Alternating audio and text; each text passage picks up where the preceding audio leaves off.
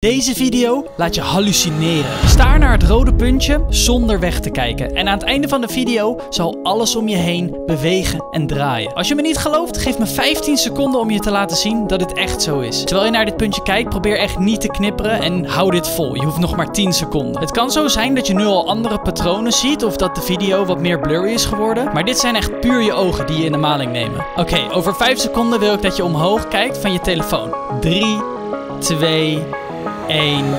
Kijk om je heen. En werkte het?